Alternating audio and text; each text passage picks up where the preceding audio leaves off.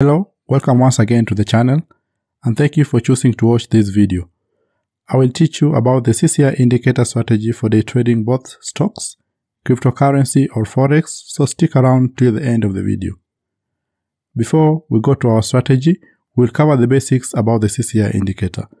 First, we'll define what CCI indicator, how to read and interpret the CCI indicator, what is CCI buy signal, we will know what's the best CCI settings, we will come to our best CCI indicator strategy, and lastly we will know which one is better between the CCI and the RSI indicator. CCI stands for Commodity Channel Index and it's an oscillator indicator which was developed to spot cyclical trends in commodities but it's currently being used in futures and stocks. It measures the current price level relative to an average price level over a specific period of time. The CCI indicator can be used to show overbought and oversold areas in the market. Let's add our indicator to our chart. We have our euro pound for our chart. Below is our CCI indicator and as you can see, the CCI is below negative 100 mark. This can be interpreted as the market being on oversold area, hence giving us a CCI buy signal. When you look on the upper part of the CCI indicator, we can see the red line having the positive 100 mark and the positive 100 mark can be interpreted as the market being on overbought area hence giving us a CCI sell signal. So that's how you can easily interpret the CCI indicator. So what's the best CCI indicator settings? The settings depends on individual trading strategy, though we have the standard settings offered by trading brokers. On our chart, we can see the trading view broker having a 20 period CCI setting, which means it measures the recent price changes against the average price changes over 20 period times. On our chart, you can see the CCI indicator of 20 period giving us several signals. You can spot a buy signal. You can spot another sell signal at that point. We have another sell signal at that point. So what happens when we reduce our period to less than 20? Like in this case, we can use a setting of 8 period moving average. This setting results into a more reactive average that oscillates between the positive 100 and negative 100 levels more frequently so it's not reliable in long-term trading. So for short-term trades like in 5 minutes time frame, one can reduce the settings to less than 20 period moving average. So as you can see on my chart, we are having several signals. Like in this case, you can see a buy signal at that point.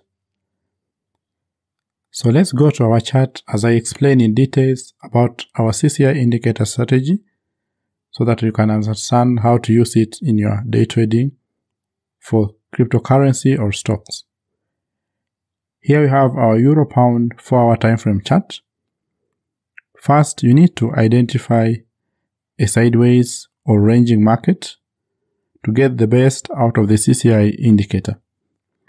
Check on the high and low swing points in the market, which generally form the support and resistance levels. When the price reaches at the identified area, look for the CCI signal of momentum exhaustion in the market. Like in this case, you can see the CCI indicator moving below the negative 100 area, which is also an oversold area, meaning the market wants to start an uptrend. Our strategy is to wait and buy when the CCI crosses the negative 100 line. On contrary, when you have the CCI indicator moving above the positive 100 area, also called the overbought area in the market. This means the market wants to start a downtrend. wait and sell when the CCI crosses below the positive 100 line. And keep in mind this strategy works best in a ranging market than in a strong downtrend or uptrend market. In a strong downtrend market, CCI indicator is not that much reliable because of it being a cyclical oscillator indicator. So to confirm this theory, let's head to our chart. So on my chart, we have our euro pound for our time frame chart. You can see the market is in a very strong downtrend, making areas of lower highs and lower lows. And when we check on our CCI indicator, we can see a buy signal, but the buy signal is not reliable because it's occurring when the market is in a very strong downtrend. So it's an reliable CCI buy signal. Many traders ask between the CCI and the RSI indicator which one is better. In my opinion, both the RSI and the CCI are momentum oscillators and are used to identify the overbought and oversold areas in the market.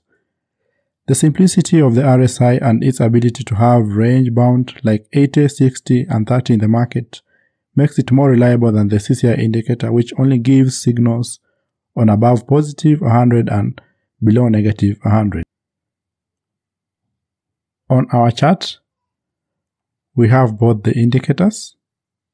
First, you can see the RSI indicator below, and the RSI indicator is having the ranges that we've just stated. As you can see, you have the 80, the 30, and the 60 range. Above the RSI indicator, we have the CCI indicator. And from the areas of the CCI indicator, we discussed that we only get positive 100 or negative 100 marks. So on this chart, you can see the indicator having the negative 100 area at that point and the positive 100 area at that point. Remember to watch my next video on the MACD and CCI strategy for day trading. If this video has been helpful, like, share and subscribe to the channel for more future videos like this. Till next time, see you.